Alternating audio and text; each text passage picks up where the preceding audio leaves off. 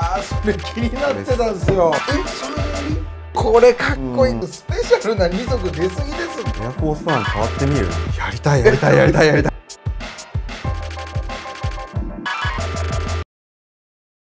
皆さんこんにちは。GQ スニーカーホリックス MC のアントニーです。さあ今回のスニーカーホリックは原宿にあるストリートブランドマジックスティックのディレクターの今野直隆さんです。よろしくお願いします。よろしくお願いします。今お願いします。今野さん。ますすげえ緊張しますいやいやいや全然全然、はいよろしくお願いします。本当にこの番組に出ていただきありがとうございます。こちらこそ。このマジックスティックというお店、はい。実はあの僕もはい。何度か来させていただいたことあるんですけど、ありがとうございます。あのー自分の好きなスタイルだけを貫いてやっていけるようなもので、まあやっぱりね僕すごいシューズ好きなんで、はい。シューズにこうマッチングできるような洋服を作っていきたいなと思って、この今野さんってやっぱそのスニーカーホリック界隈でもすごいやっぱこう注目されてる方だと。非常に怖いです、ね、ちなみに今日履いてるスニーカーを教えていただいていいですか？今日はスピリド。ンああえて多分皆さんね、い、いやついっぱい入ってると思うので ちょっとインラインっぽいやつにしてみました、はい。ーい。やでもやっぱかっこいいですよね。これ最強ですね。りやっぱ履き心地もね、うん。なんかその自分の中でのなんかこう、はい。履きこなしのテーマとかってあるんですかね？まあでもなんか本当、なんだろうな。やっぱりススニーカーにん。フォーカスして、はいはいはい。そっちをメインに見せられるような洋服の着方にしたいなと思っていてるほど。あえてこういうね縦の短い感じあとかにちょっとしてですね。やっぱ結構服装はシンプルな方が多いんですかね。ほとんど黒しか着ないんですよ僕。え。ーうん。じゃあそれもやっぱそうスニーカーを、そうその分派手な靴すごい好きなんで、うん、大野さんスニーカー何足ぐらいお持ちなんですかね？ちゃんと数えたことないんですけど 今回もねこんな並べたこともなかったんで多分200ちょいとかそんな感じかなと。ってるな、やっぱり僕ファーストジョーダン1すごい好きなんで、うん集めてはいますね。なんか継続的に買ってるものはやっぱりワン。やっぱこのファッション業界の方から見ても、ジョーダン1ってもう完成されてるんですかね？じゃないですか超えられないですよね。だからやっぱ迷って迷ってどこいじるってなってスオッシュ反転させたんですよね。そうですね。ぶった切ったりとか。そっか。でね。でもやっぱどのデザイナーさんもデザインをやっぱ崩してないですもんね。だと思います。河野さんがこのスニーカーのコレクションを始めたっていうのはいつぐらいからなんですか？多分高校生の時はそんな買えなかったんで、うん。働くようになってからだと思うんでどうなんだろうな98年とかお7年とか多分それぐらいからなんかちゃんと自分で稼いだお金でやっぱその影響を受けたのは当時はい。あのクラブ行ってて青山にあったんですけど、はい。はいはい。そうそこでねなんかバチバチスーツにジョーダンファーストとかイエブン履いてるイケてるおじさんがいてそれを見てもうめちゃめちゃ食らっちゃってそっからすごいファーストとかイレブンとか好きになったのかな、なるほど。やっぱりねジャケットテーラードにジョーダンこいいですよね。かっこいいですね、はい。では河野さん、はい。一足目のスニーカーお願いします。好きなやつ。やっはいぱり僕はこれです。おお来ましたね。やっぱりね、はい。思い出深きいやもうこれ出されたらもう僕何にも言えないですよ。やっぱりこれ一番自分の中ではねすごいいや。思い出しかない靴ですね。そうですよね。はい。これはもう、はい。河野さんがデザインされた。そうです。譲れない一足。いやーこれはもう僕欲しくて欲しくてたまらなかった一足です、前ねおっしゃってくれてましたよね。いや本当にこれをまあ河野さんデザインされた、はい。このなんか経緯とかっていうのはあるんですか？2016年とかかな、はい。僕年末誕生日なんですけど、はいはい。その時にナイキの方がお誕生日祝い来てくれて、はい。もうベロベロの状態の時に、い、い誕生日プレゼントがあるよ。なんかちょっと今話してもどうせ覚えてないからちょっと明日話すねって言われて。なんだそれなんだなんだと思って、はい。そしたら「エアフォースワンちょっと触ってみる?」みたいな次の日ナイキから。そう。やりたいやりたいやりたいやりたいやりたい。すすげえプレゼントだな。ごいですよね。でも速攻でやるって言ったんですけど、蓋開けてみたら3日間でデザイン出せっていう恐ろしい 恐ろしいオファーで。なるほど。でしかもまあそれがちゃんと通るかどうかはわからない、うんうんとにかくやってみないみたいはい。なことで、もうね3日しかなかったけど毎日寝ないで10型ぐらい自分のアイディア出してで出した中の一つがこのはい。タイベックっていうもので話が通ってしまったっていうところだったんですけど。このスニーカーははい。どういったコンセプトで作ったんですか？クラブ？はいはいはいはい。僕すごいあのパリピで有名なんで。あんまあんま自分で言う人いないです で、まあ、クラブのこのカルチャーがすごい好きでこういうのつけるじゃないですか。はいはいはい。ね。そうそうバンド。あれをなんかインスピレーションソースに最初してそれがこれパーツ。はいはい。蛍光の黄色つけるとビップでも入れるよみたいなうん。ところから始まって素材がこれなんですよ。タイベック。ああなるほど。紙なんですよね。なるほど。紙ですね。そうそうそうそう。そうですごい引き裂けにも強くて、はいそのちょっと素材をあえてシューズに使ってみたいなと思っていて。今までナイキでこの素材を使ったっていう。僕の知る限りは前例はないかなと思っていて。も見たことないですね。まあ、それもあって面白がってくれたのかなっていう気はしますよね。靴って一番なんかダメージを受けやすい、うん。それに対して紙を使うってちょっと馬鹿げてる、でも画期的なことですよね、うん、であとはねやっぱこのパイピング。はいはいはい。めちゃくちゃ輝度が高いんで暗闇でバチンと光るんですよ。ね、うん。それがすごいかっこいい。だからナイトクラブで入る一足そうですそうです。まあでもクラブに白履いていくっていうのももはや矛盾してるんですけど。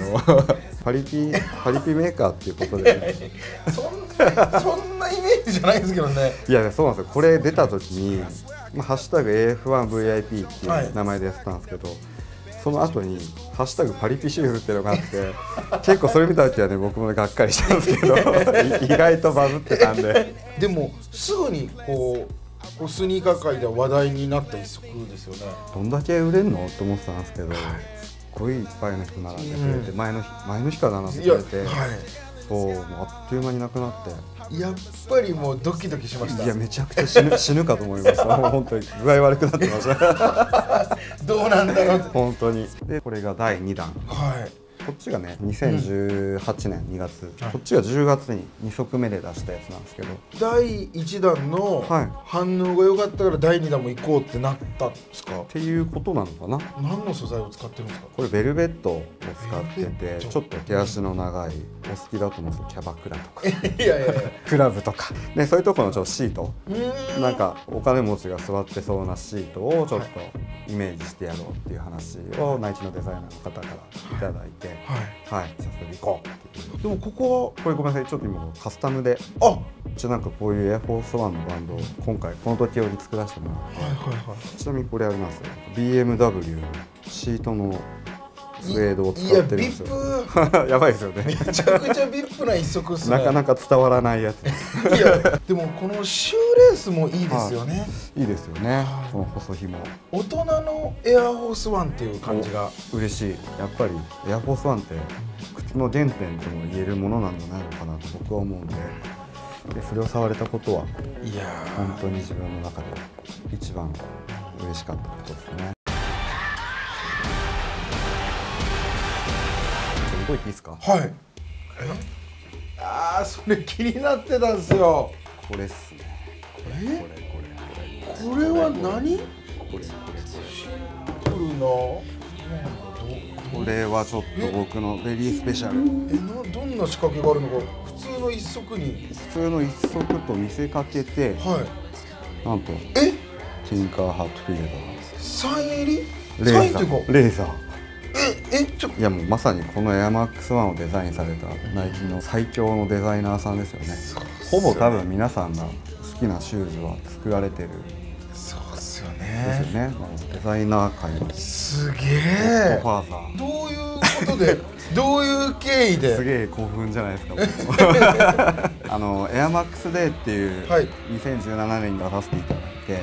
ナイキのヘッドクォーターはい。行かせてもらったんですよ。うわー。オレゴンそうオレゴンのあのキャンパス行かせてもらって、はい。選出されたメンバーみんながそこに集まって、はい。なんかいろいろデザインセッションしてみたいな。もうあれそれ世界中から。そうですそうです。最高の時間だったんですけど。でそこで着いた日かな。ホテル着いたらベッドの上に、ナイキのシューズの箱がポンと置いてあって。はいなんじゃと思ってみたらこれ。えでパッと見る。ーと「あうん。エアマックスワンいいよね」いいよねエアマックスワン。はみたいな。ちゃんと読めないんですけど。テで。年号。7月23とか多分入ってるんですこれは本当嬉しかったな。生まれて初めてよくインスタで見るこのシューズキーパー買って。い これは大事はいにしようこれはちょっともう革靴レベルで大事にしようと思って。だからようこそナイキへ。そうなんですよ。ようこそデザインの世界へそうのもうまさに。これはすごい。まあそれでね出させてもらったのが、はい。エアエアマックスで。物はないんですけど、うんこういう。これをデザインして、ね。エアマックス97をちょっとハイブリッドはい。させてみたいな、ちょっとこう未来的な宇宙的な、ね東京の夜の街と、うん、この紫の感じ。すごい高貴だし日本代表っていうところで作って。絶対これの方がかっこよかった。まあちょっと勝てなかったんですけど、うん。まあ LA のねショーン君がはい。優勝して。ショーン・ウェザースプーンがまあ確かにかっこいい。これかっこいい。うん。まあ確かにこれはこれはねやっぱりスニーカーヘッズの中でも、だいぶね皆さん気に入ってましたよね。はい。紹介するのがはい。なんとこれ自分だけの世界に一足おろ！ジャパン。ジャパン？マーク。でやばいですよね。リリース前には戦った多分国の人たちみんなにショーンが聞き出して送ってくれたみいいたいでやー粋なことするな最初届いた時はちょっとイラッとしたんですけど まあでもなんかすごいねちゃんと思っててくれたんだなと思って嬉しかったですね。いやちょっとスペシャルな二足出過ぎですって。ダブルスペシャル。ちょっとこれ待ってよ。僕好きなのがなんだ？この辺かな。おお3つ持ってっちゃおうかな。ああいいじゃないですか。はい。はいはいはいはいリアクト。エピックリアクト。はエレメント。うん。入ってます？リアクトまあ僕も何足か。はい。アディダスのウルトラブースト。ウルトラブースト。あれ初めて履いた時なんだ？この履き心地ってわかります。あのクッション性ね。だいぶ衝撃を受けて、はい。その後にこれを見た時にこれ絶対履きやすいと思って、はい。普通に買えるっしょと思って、まあ朝、まあ、スニーカーズかななんか見たら秒でなくなってて。そうなんですよ。はあと思ってねいわゆるランニングシューズがそんな、まあ足入れてみたらとんでもない履きやすいしフィットもいいし僕履きやすい靴好きなんで、はい。見た目っていうよりも。っていうところでこれはもうだいぶ食らっちゃって本当に毎日履いてました。でそこからコレクション始まっちゃって、うん。このフライニットとかもいいですよねフライニット。フィット感がやっうぱり。んでこれ去年。うん。これはねストック X で頑張って昔欲しかったんです。全然売ってなくて。すごい数少なかったみたい。さ3000足とか7000足とかそんなしかなかったみたいな。これはもうめちゃくちゃ頑張ってちょっと高かったですけど。プレで買うこともあるんです全ね。全然あります全然あります。普通に。ちなみにはい。いくらぐらいだったんですか？4万円といかまあリアクトリアクトっなのに。て思ったらやっぱちょっとね。ねまあまあ高いですよね。ううん。んからはい。エレメント。うわー。この色見たことあります？これ？これないですよね、はい。そう僕もなんかなんかたまたまエレメントをネットで検索してたら、ーはい。たまたまヒットして、うん。なんじゃこりゃと思っていろいろ掘り下げてったら多分北米限定だったのかな。でなんかいろいろ探ってったら日本配送してるよっていうところがあったんで、日本でまだ一人もかぶったことないんで。いや見たことないものずっとこれだけなんか見たことないですよね。ないなーって思いながら。かモードな女子がこれ履いてるとかっこいいですよね。っこいいですね。あれですかいろんな服に合わせたりするんですか？うちのなんかルックブックほとんどリアクトなんですよ。ええ三田スニーカーズの国井さんとか、うんはいはい。展示会来てくれて最初にこう靴とかこう見てくれてて番長の ジャッジを見るみたいなそれも面白いですけど、でそっからのパリはい。展示会に毎年年2回行ってるんですけど、うん今回2020年1月はい。のコレクションに行った時に、はい。なんと珍しく僕ニューバランス。これ。見たことないデザインです。まあ僕はニューバランスにそこまで詳しくないのもあるんですけど。いやもちろん僕も全然正直疎いんですけど860 8の子はいはいはい。2ってやつで今回のパリめちゃくちゃかっこいいやつがみんな履いてて。はその前の年行った時は犬も歩けば状態で全員酒井履いてたんですあよああなるほど。そう。でまああとホワイトとか、うん。その要はハイプなシューズ、今年に限っては逆にみんなこっち履いてるみたいな。僕ミーハーなんで。大至急。大至急。大至急。これだと。はい、しかもそれこそさっきちょっとお話ししたように、スーツなんですよ、ん。みんなねこう太めのパンツとかにこれ合わせてて、もうほとんど見えないんですけど。こうパリにおけるこのシューズってスニーカーってどうどうなんですか？ポジション高いものだと思います。もちろんね服以上になんかみんな気にしてるような気もしますしやっぱカニエとかまあそうですね。バージルがだいぶこう変えたのかなっていう。